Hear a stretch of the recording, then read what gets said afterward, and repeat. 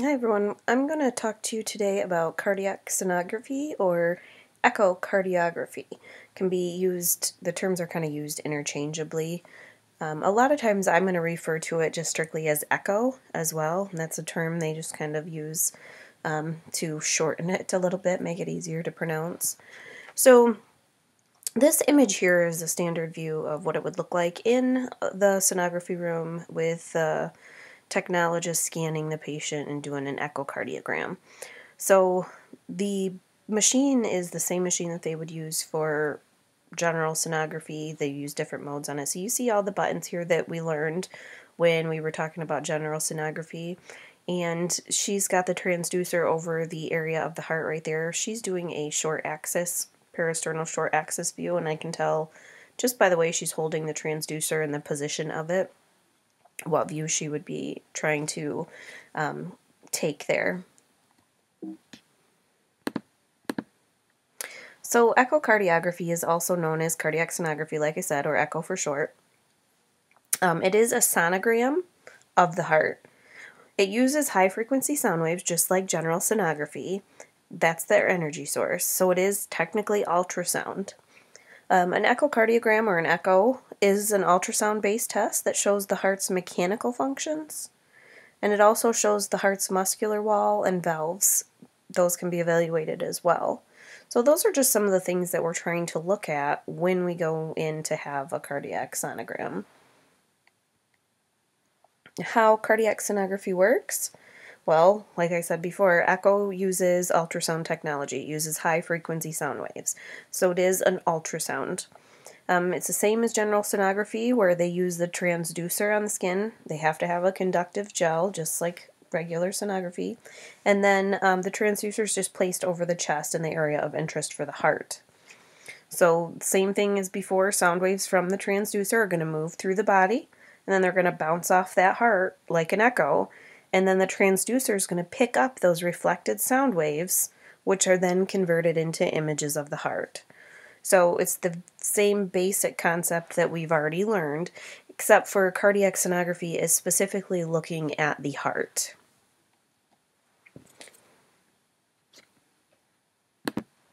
The pertinence to the medical community is echo can be used to evaluate and diagnose and guide treatment for problems of the heart. It's non invasive, which is great. Um, an echocardiogram can play an important role in helping the doctor determine how your heart is actually working, if something's going on, what it is, and, and how they can help treat it. So, cardiac sonography sonographers can work together with different modalities to combine care and tests to help diagnose someone's issues. So, a lot of times they'll work together with pulmonary or stress labs to combine the stress test and echoes. Um, they can work with the cardiac cath lab, which is interventional care, and they can also work with nuclear medicine. So, there's a lot of tests that go hand in hand to help properly diagnose a patient's heart conditions or diseases to try to give the best treatment possible for that patient.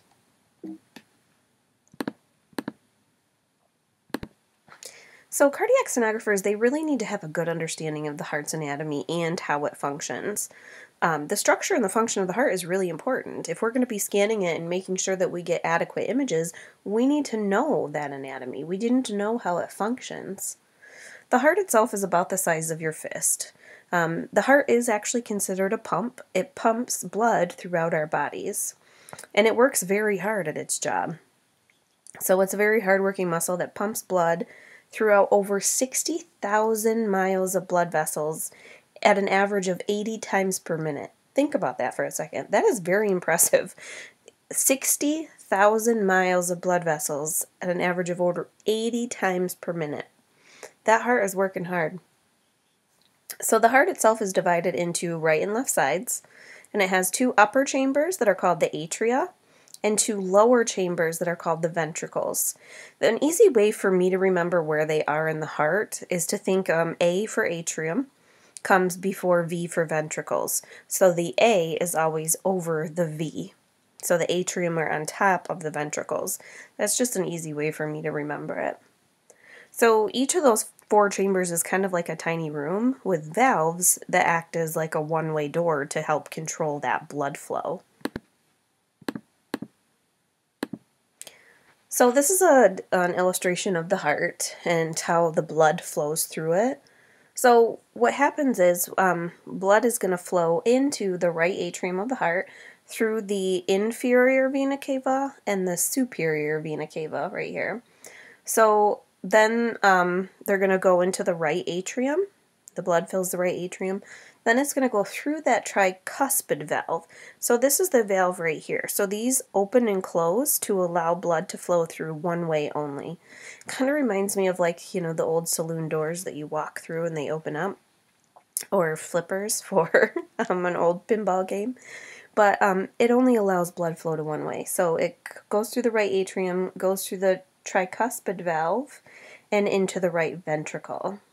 Then the blood's going to flow uh, through the pulmonary valve, which is right here. This is the pulmonary valve, and um, to the pulmonary arteries. Then it's going to travel to the lungs through the left pulmonary artery and the right pulmonary artery to get oxygen. After it gets oxygen from the lungs, then it's going to come back to the heart through the pulmonary veins over here on the left side of the heart. Remember um, that Arteries take blood away from the heart. So A for arteries is away, and veins bring blood back to the heart. So those left pulmonary veins are going to bring blood into the left atrium. And then that passes through this valve right here, which is the mitral valve. And then the blood goes into the left ventricle. Then what happens is it goes out the aortic valve right here.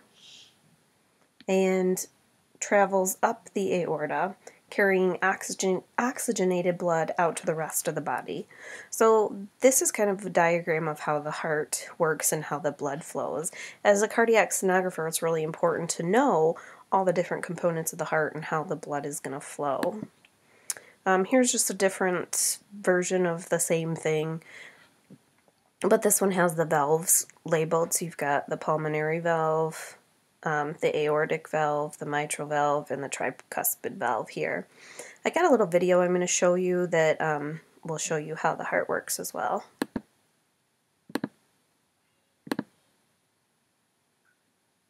The heart is a muscle about the size of your fist.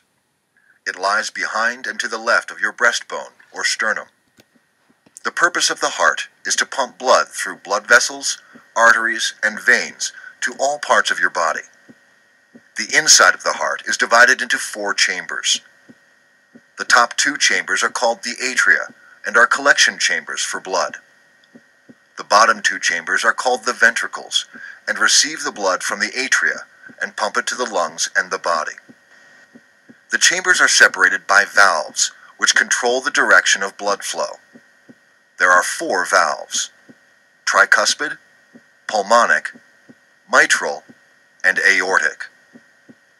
Circulation begins at the right side of the heart, where blood from the body comes to the right atrium. This blood passes to the right ventricle, where it is pumped to the lungs to receive oxygen. Once it receives oxygen, it flows to the left atrium and then to the left ventricle, where it is pumped to the aorta and the rest of the body. On the right side of the heart, the tricuspid valve separates the right atrium and the right ventricle, allowing blood to enter the ventricle but not flow backwards to the atrium. Blood flows through the pulmonic valve to go to the lungs. On the left side of the heart, the mitral valve separates the left atrium and the left ventricle. Blood flows from the left ventricle to the aorta through the aortic valve and to the rest of the body. Arteries carry blood with oxygen and other nutrients throughout the body. Veins take blood back to the heart, which pumps it to the lungs to be oxygenated. The heart arteries, coronary arteries, provide oxygen and nutrients to the heart muscle. The right coronary artery supplies blood to the bottom and the back of the heart. The left coronary artery splits into two vessels. One branch supplies blood to the front of the heart, the other branch delivers blood to the left side of the heart. An electric system transmits signals throughout the heart to control its pumping. The electrical signal starts in the sinoatrial, or SA node, which is located in the upper portion of the right atrium and is known as the natural pacemaker of the heart. The electrical signal passes down to the lower chambers of the heart via the atrioventricular or AV node, which controls the signals so the atria contract before the ventricles. In the ventricles, pathways carry the signal throughout the muscle so that they contract at the same time to pump blood to the lungs and through the body.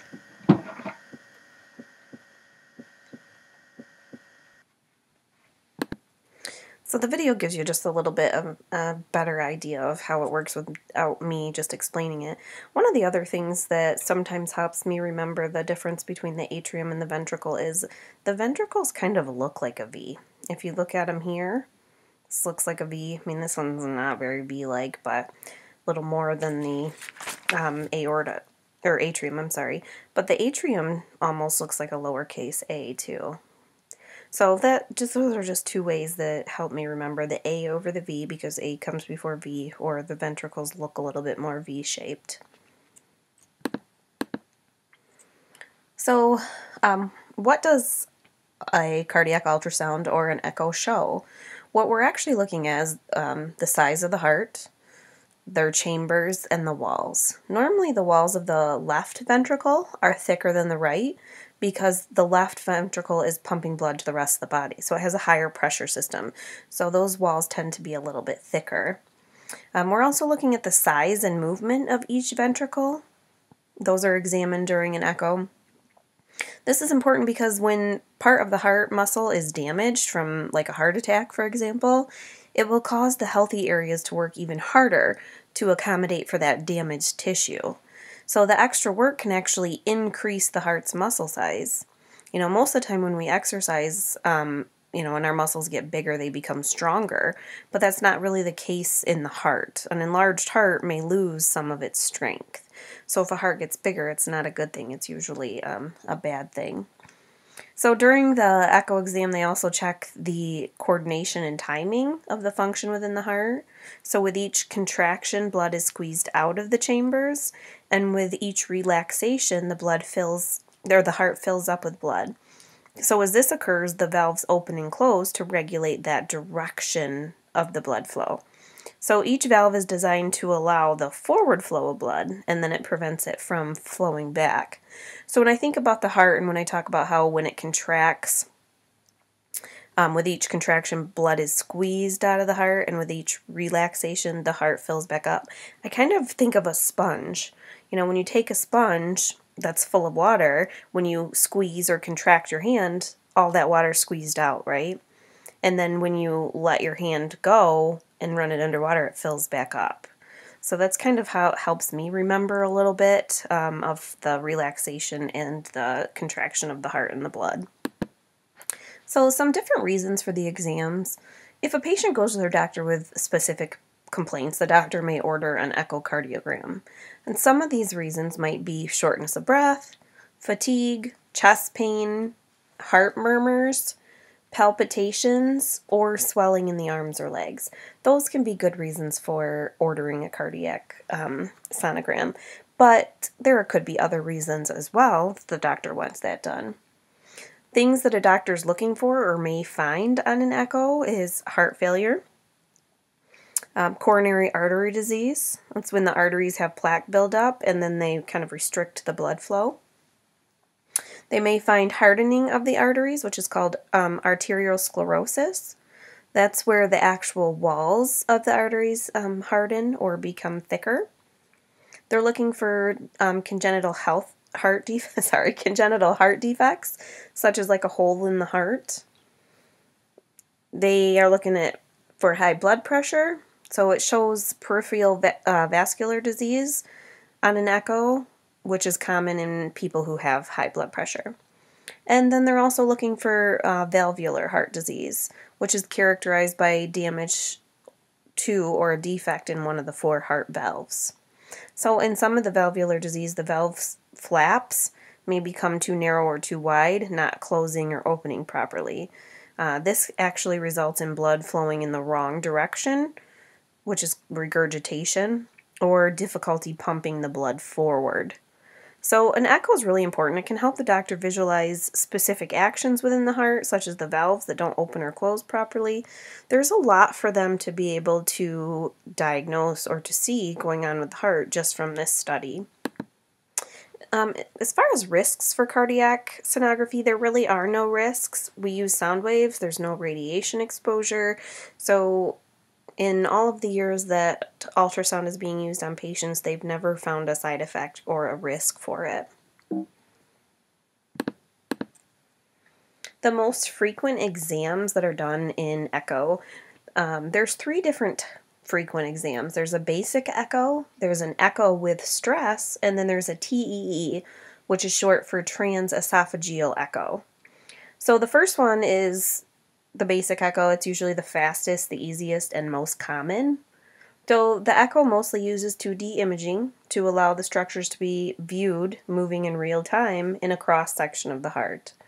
So echoes are performed to detect abnormalities, um, like abnormal anatomy or abnormal movement of the structures. The most common views of a basic echo are the parasternal long axis, the parasternal short axis, the apical view, and the suprasternal view. And I'll go through all those and I have some pictures of them in a little bit. But the echo is performed to visualize the valves and how they're functioning. It's good for checking for stenosis, which is narrowing of those aortic valves. And this is done by measuring the aortic valve area and checking peak velocity and pressure. So they're checking for regurgitation. I used that word earlier. That's when the valve doesn't close tightly, causing the blood to flow backwards or leak backwards.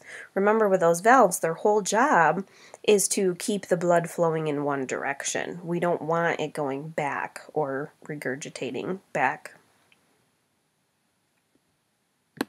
They're also going to check for hemodynamic info. It is used to check your blood circulation and see how well your heart is actually working. It's measuring that blood flowing through the heart. The echocardiogram is also checking the pathophysiology. Pathophysiology is seeks to explain the function or functional changes that are occurring when a person has a disease. So they're checking the heart wall thickness, they're looking for heart enlargement or tumors even.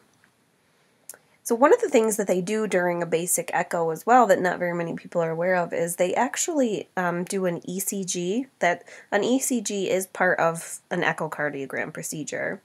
An ECG is also known as an electrocardiogram, and it's a test that measures the electrical activity of the heartbeat to see if it's working normal. Um, so it checks the heart's rhythm and electrical activity.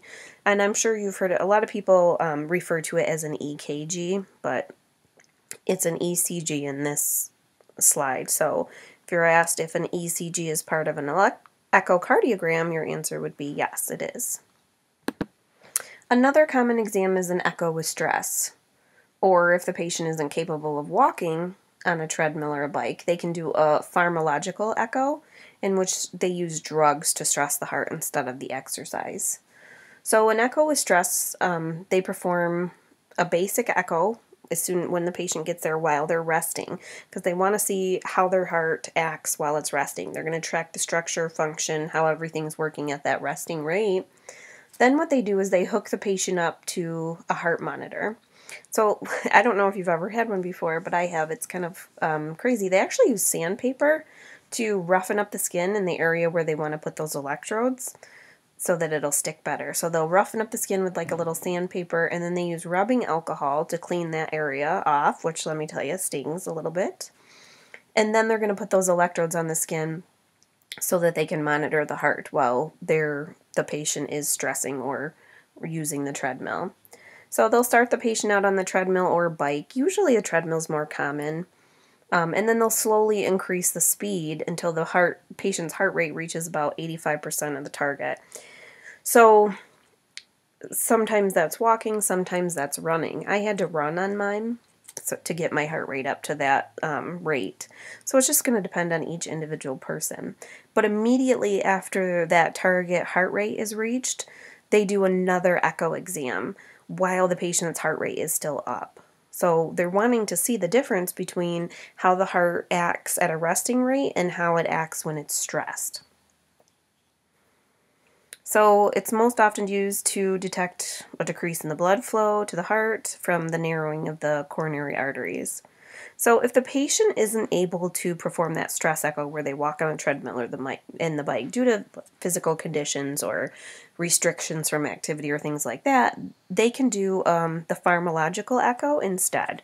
So what it is is they're using drugs to increase the heart rate, medicine, to get the heart rate up. So they would do the same thing. They would um, have the patient come in. They do the resting echo first and then they would hook them up to the heart monitors just the same and then they, what they would do is give them IV dopamine which is going to increase the heart rate and then they'll do that second echo while the drugs kind of being administered and raises the heart rate up so they can still see the heart at rest and during a stressful time when the, the heart rate's up.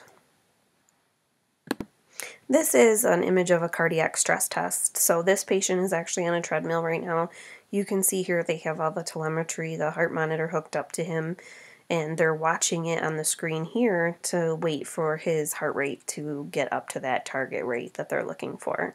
And then they can lay him right down on that stretcher behind them and do the echo.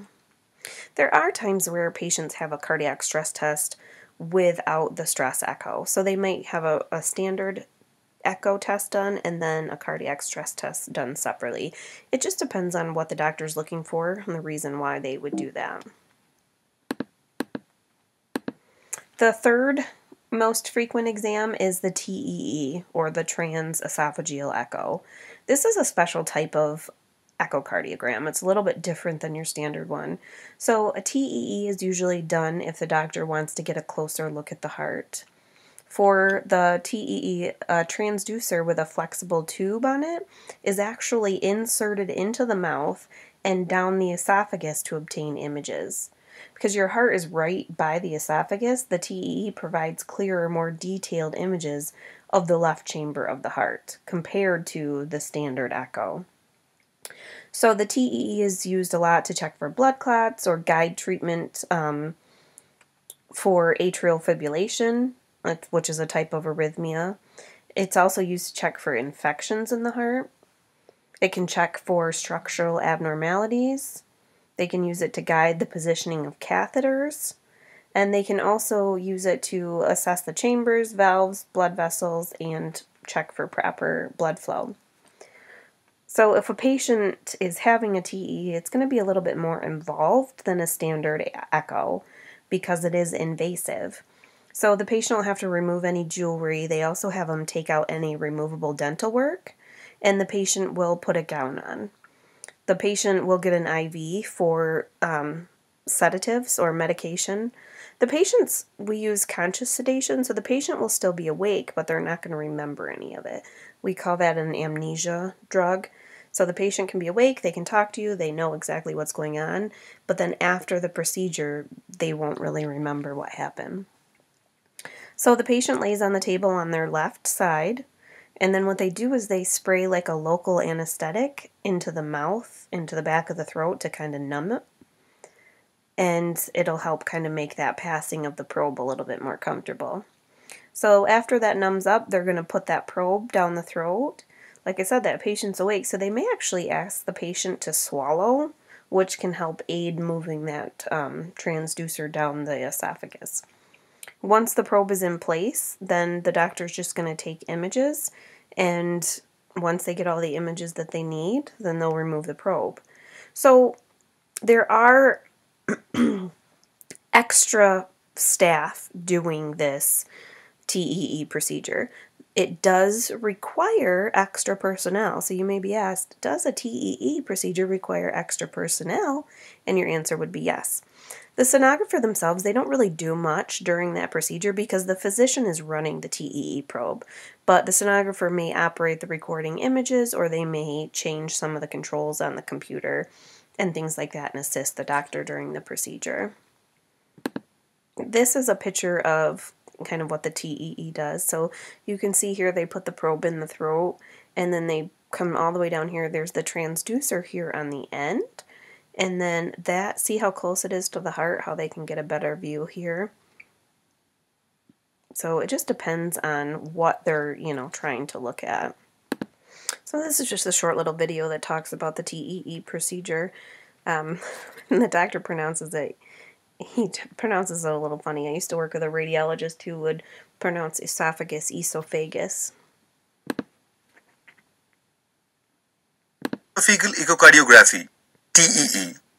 Transesophageal echocardiography is a diagnostic test using an ultrasound device that is passed into the esophagus, the foot tube that connects the mouth to the stomach of the patient, to create a nuclear image of the heart muscle and other parts of the heart. Since the esophagus is right next to the heart, transesophageal echocardiography provides a very clear picture of the heart. It can provide information to the size of the heart, its pumping strength, and the location and extent of any damage to its tissues. Procedure A tube with a device called a transducer is passed down into the patient's throat and into the esophagus. The transducer directs ultrasound waves into the heart and the reflected sound waves are picked up by the transducer and converted into image.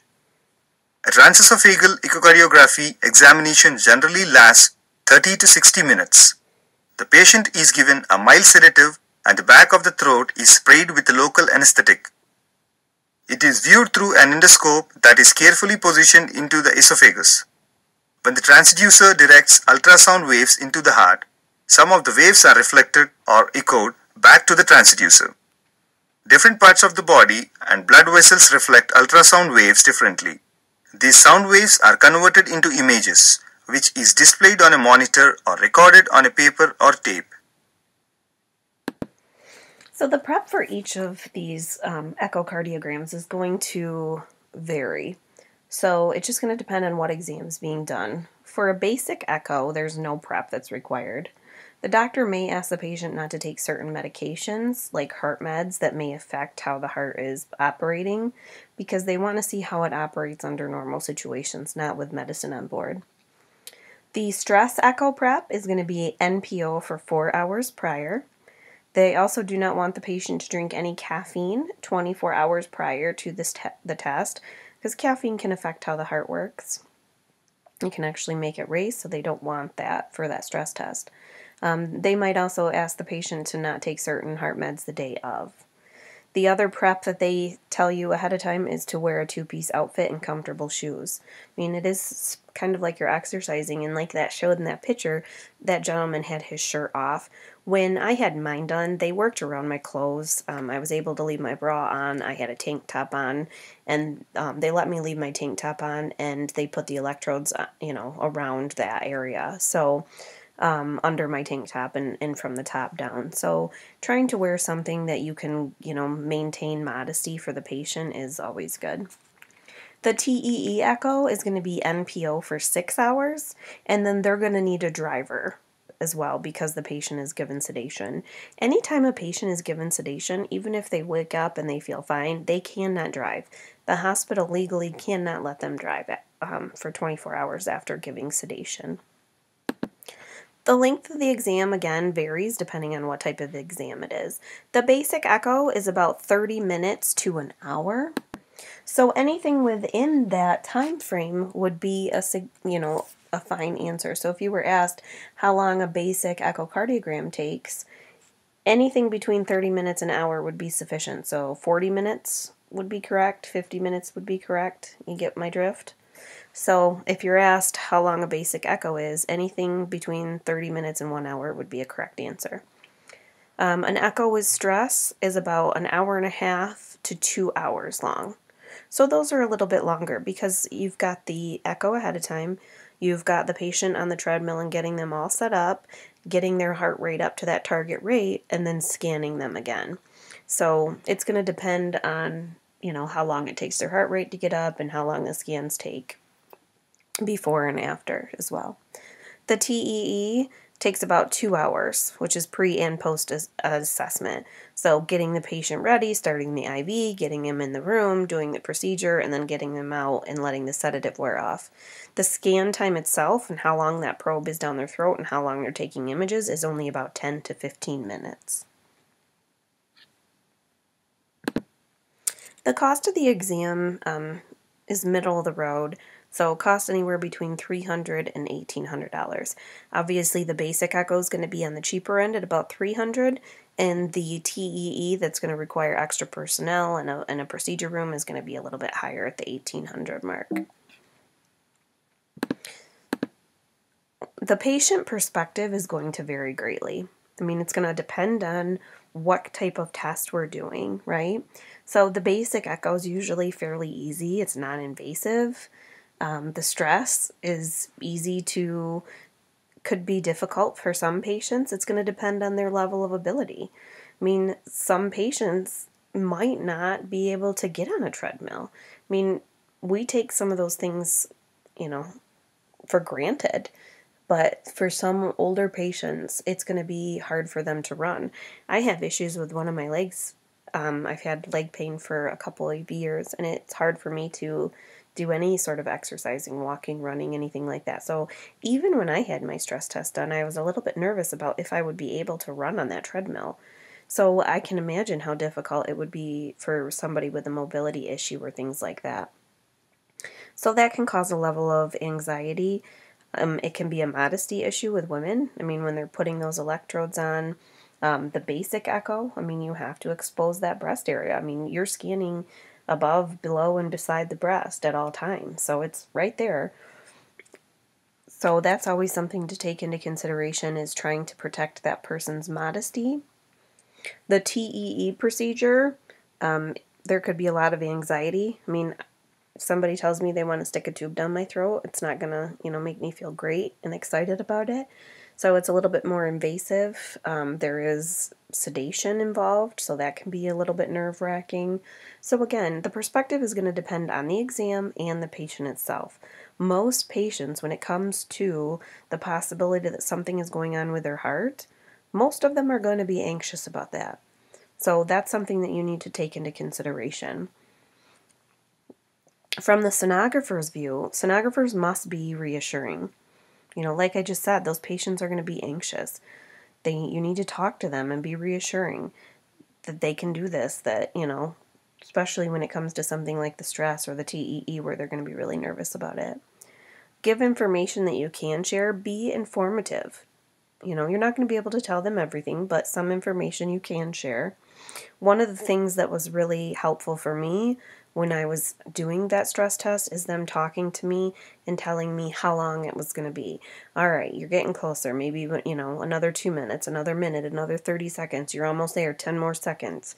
You know, that kind of helped me get through it a little bit more when it became difficult for me to run and do the things that I needed to do. Um, always be professional. I mean, that should go without saying. Um, but I have to tell you, I've worked with a lot of technologists over the years that are not professional. So that's something that I don't feel like I should have to say, but I'm going to say it anyways. Make sure that you are always professional in front of patients. I mean, if you've ever been in a situation where a healthcare worker is unprofessional, it doesn't make you feel good about the situation at all. And we want to always make sure that our patients feel comfortable. And that goes right along with the being confident. You know, nothing is worse than feeling like the person who's doing your exam doesn't know what the heck they're doing.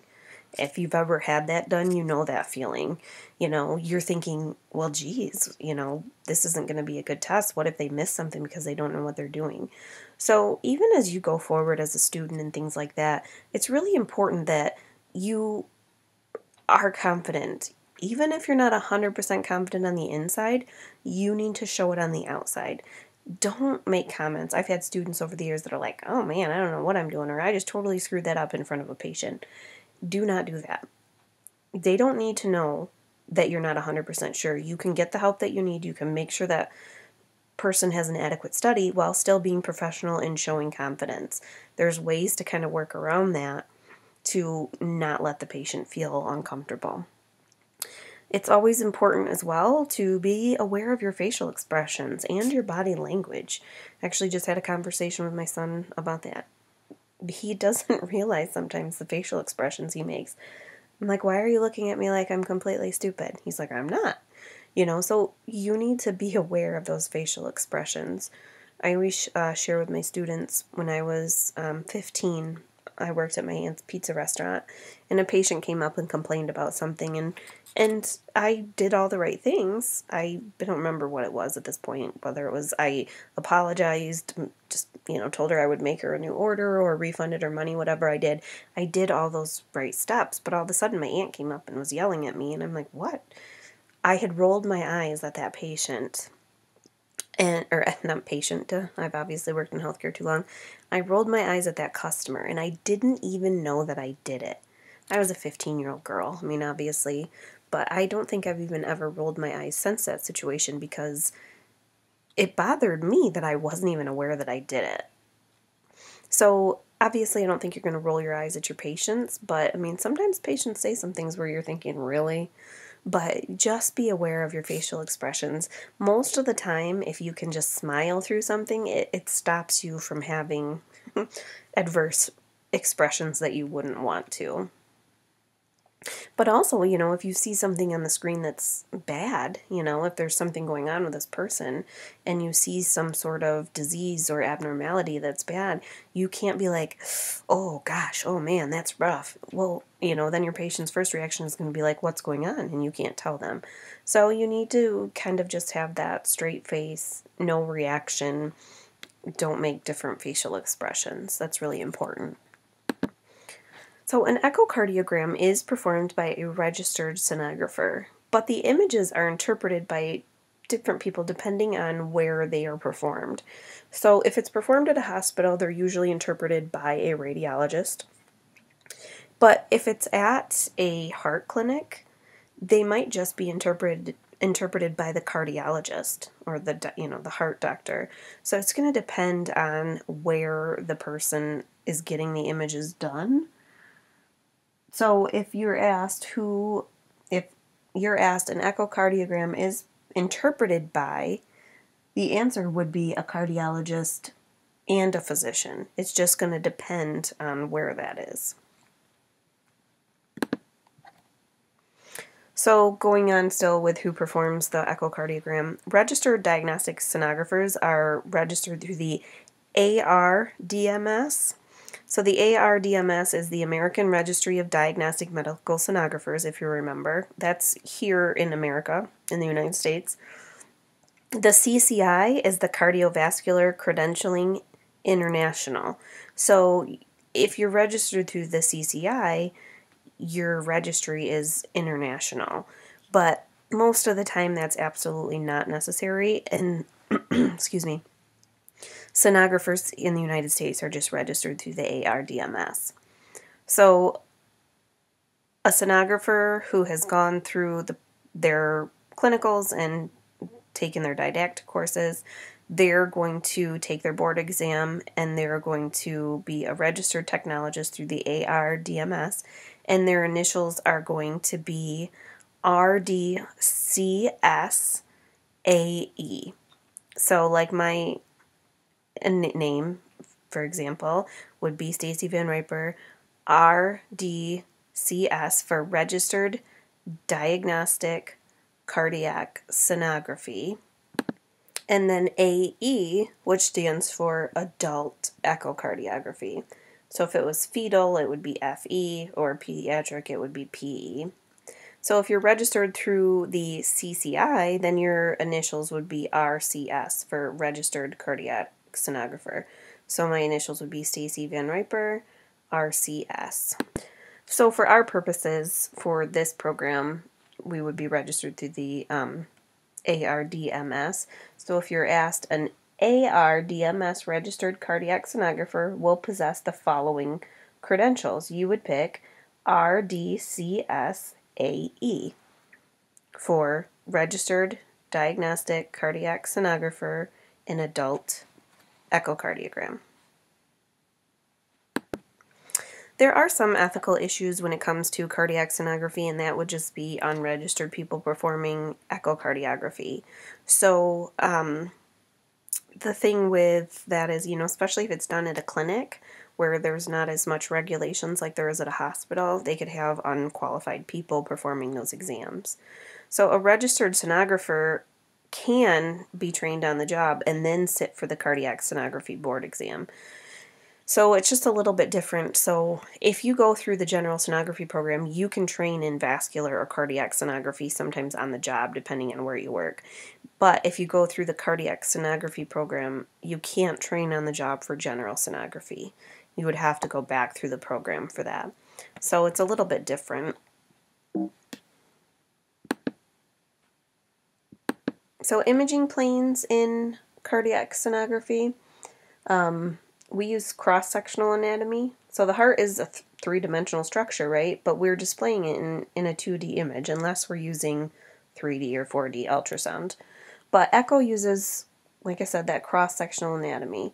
We use cardiac axis planes. So we use the long axis plane, which runs from the apex of the heart through the base of the heart and the long axis of the aortic valve. So think of the heart as being long and wide, right? So the long axis view is from the top to the bottom of the heart. And then we do a four chamber axis view, which is perpendicular to the long axis view, so it's kind of the width of the heart, but it includes all four chambers of the heart.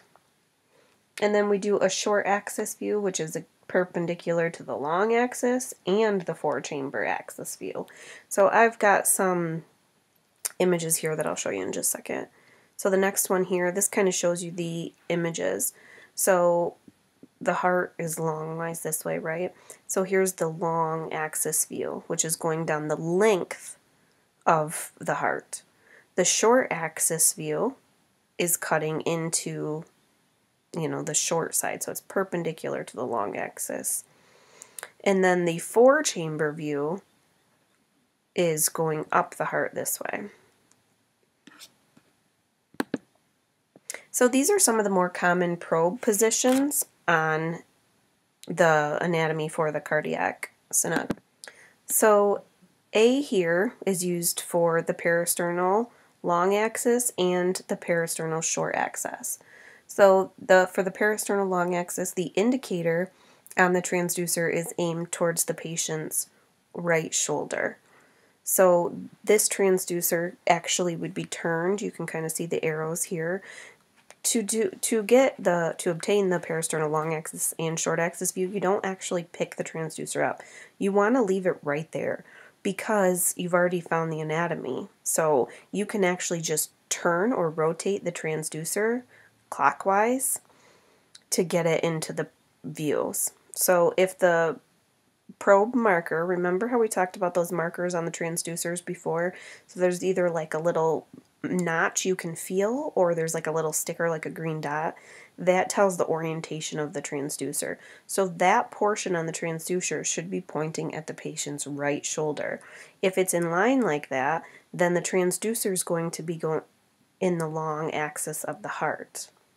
Then if you just rotate the transducer, I'm not picking it up, and then you turn that tip, so say if this part of the transducer is pointing at the right shoulder now, if we rotate it so that the mark on the transducer is pointing at the right hip, so imagine that rotating just a little bit, it would be counterclockwise on this one, then that would be the, how we obtain the short axis view. Some people will rotate it till it's at the left shoulder too. It just depends on what each person does. It can be slightly different. The B probe position down here is the subxiphoid or the subcostal. It depends on people use different terms. You'll see it both. So that is where you find the xiphoid tip and you're going to go right under the xiphoid tip and you're going to angle up just a little bit superiorly to view the heart. C, the probe view C here, is we're going to actually point that indicator um, again towards the right hip a little bit. The patient actually rolls up onto their left side for this position. The other ones can be done supine, but for C, the apical view, a lot of times they like to have the patient roll onto the left side. That actually brings the heart closer to the chest wall, and then it's easier to visualize. So for this one, they want to position it on this is a male person, you're going to put it right under the nipple. But on a female that has breast tissue, you're actually going to put it right under the fold of the breast. So you'd actually kind of lift up the breast and go right underneath that fold. So here's another um, view kind of of where the probe placement would be. So green here is going to be the parasternal and short axis. So you can see here, if that transducer is pointing to that right shoulder, here's the long axis view right here. We're getting the long axis of the heart. And then if we just rotate it, here's the short axis view, so we're rotating that transducer, and this is what the um, parasternal, parasternal short axis view would be. So just by rotating that transducer, not picking it up, not moving it, we're getting a completely different view of the heart. We're slicing it in from side to side instead of by length. The subxiphoid four-chamber view is what this one's called. That's the view that we're going to get when we put the transducer down here and point it superiorly. And then the axial, or apical, sorry, the apical view when the patient's on the left side and we go right under that nipple line. So just by slightly moving that transducer around the patient, we're getting completely different views of the heart. So here on this one, we can see the left atrium, the mitral valve, left ventricle, and we can see a small portion of the right ventricle on the long axis view. On the short axis view, we can see the left ventricle and then these papillary muscles right here, and the right ventricle. The four chamber view is called that because we can see all four chambers. So we can see the left atrium, left ventricle, right atrium, and right ventricle here. Same as on the apical four chamber view, but it is getting a different perspective. This one just kind of shows the different um, ultrasounds that we would see here and what they look like. So here's that long axis view again. So you've got the right ventricle here. We've got the left atrium, the left ventricle, and the aortic valve right here. So that's what we would be able to visualize on that the parasternal short axis, you're seeing the left ventricle with the papillary muscles in here, and then the right ventricle. And then these are the four chamber views. So they're just a little bit different. So this one you've got left atrium, left ventricle, right atrium, right ventricle. And this one's just a little bit more of a side view. So left atrium, left ventricle, right atrium, right ventricle. And on this one you can see the inferior vena cava as well. It's really hard to see in this small little image, but... So again, here's kind of some of the probe placements. I don't think these images come out very clear, and I'm really sorry about that. But right here on this one, so they've got the transducer here for the parasternal views. For the long axis, the indicator on that transducer that's either you know raised that you can feel or a marker is pointing towards that patient's right shoulder and then here we've got the indicator mark on the actual image that's showing us the orientation of our probe. And then the short axis view, the indicator marker is pointing towards the patient's right hip. And we can see the short axis with the left ventricle and the right ventricle. And our probe indicator marker is marking the correct side of the patient. So we know this is the right side of the patient. And then here is the apical view. And you can see even on this one, the patient is actually rolled up to their left side. And again, they've got that transducer marker going towards that patient's right hip.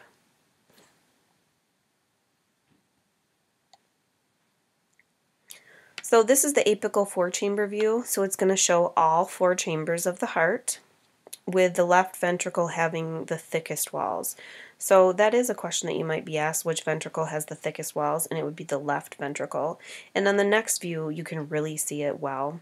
But on this one, you can see right atrium, the tricuspid valve here, the right ventricle, left atrium, you can see the mitral valve here that goes into the left ventricle. Oh, it's a couple slides away. I'm sorry. I thought that the next one would show you the walls. So this is the left ventricle, and you can kind of see a difference here, how much thicker the walls are of the left ventricle than the right. You've got the mitral valve here that opens in, those flaps open and close. The apical four chamber view again. I like the difference with the diagrams here and then the ultrasound on the same side because it can give you a better view and what you're actually looking at. You know, it's not as detailed on the ultrasound, so it's hard to pick up some of the anatomy. This is the parasternal short axis view that shows the aortic valve. So this is a little bit different. So I always call that kind of like the Mercedes-Benz sign you can see, you know, the three lines or kind of like an upside down peace sign. That's how you can tell that that's the aortic valve. But you can see the right atrium here, the tricuspid valve is right here, and the left atrium down here. But you know, the aortic valve is like the upside down peace sign or Mercedes-Benz sign. This is the parasternal short axis view that shows the papillary muscles. This one sometimes they call the avocado view. So it kind of looks like an avocado. So you're visualizing the left ventricle and it really shows the difference in the thickness. So here, I mean, you can see how thick the walls of the left ventricle are versus the right. Here, this is the right ventricle. Look at how thin that right wall is compared to the left. But this view is actually good to visualize these papillary muscles right here on both sides. And on a regular x-ray they would be moving. So here you can see them. Right here and right here. This is a 3D mitral valve, and I actually have an image where it moves. Um, if you look under JetNet, there's an actual um, link for 3D images. I'll pull those up now so you can see it kind of moving. So this is a 3D ultrasound of the mitral valve. Sometimes this is called the fish mouth view as well because it looks like a fish mouth opening and closing. But you can see there how the mitral valve opens and closes to allow that blood to only flow in one direction. So if there isn't a kind of tight seal or tight close when it closes, the blood can regurgitate or, or go backwards the wrong way. This one here is showing you the two chambers, the two left chambers, the left atria, left ventricle, um, and separated by the mitral valve. But I'll show you this as well on the 3D view so you can kind of see it in live action moving. Alright, so here's the 3D version of that. So like I said, here's the two left chambers. So you've got the left atrium here with the mitral valve that's opening and closing and the left ventricle down here. So as you can see that mitral valve, it's kind of like a flap that flaps open and flaps closed with each beat of the heart as the blood flows from the left atrium into the left ventricle. I think these 3D images are pretty cool. So this image here is the subxiphoid view. So what it's showing here is you can see right atrium, right ventricle, left ventricle, left atrium, left ventricle. It's hard to see up here because it just looks black, but down here, what this is is it's pericardial effusion. So what that is is it's excess fluid around the heart in the sac that surrounds the heart. So you, there is actually effusion around here as well. So sometimes this can make the heart work really poorly. If it's got a lot of excess fluid around, it's putting pressure on the heart and it doesn't perform as well as it normally would. This next image here is what's called mitral valve calcification. So here's the mitral valve here kind of open right now. And on the bottom of that mitral valve, you can see on this side, there's just a little bit of calcification, just mild. But on this patient over here, all of this white is severe calcifications. This one here shows the echo Doppler. So Remember when we talked about before on color Doppler that the red is the blood that's flowing towards the heart and the blue is the blood that's flowing away from the heart. So you can kind of see the flow, not flowing away from the heart, I'm sorry, away from the transducer. So here's the transducer from the top of the screen, right? And it's giving you this window, this acoustic window here. So the red is the blood flowing towards the transducer and the blue is blood flowing away from the transducer. So mm, before I talked about like some of the regurgitation and how the blood flows. So on this one you can see the difference in some of that mitral valve regurgitation. So here's the mitral valve, and as that flap opens and closes on a live x-ray, you'd be able to see it. But this is a little bit of mild regurgitation where the blood is flowing the wrong way. Instead of going through the mitral valve, it's coming back up into the atrium. So this is mild, and this would be moderate, so there's quite a bit of blood flow here. So it's by this yellow and blue colors, you can see that it's flowing the wrong way. And then this patient has severe mitral valve regurgitation. So these are some of the things that we're trying to look at when we do cardiac sonography. So cardiac sonography is very important. I mean, the heart is a very important muscle, and if something's going on with it, we need to have good visualization.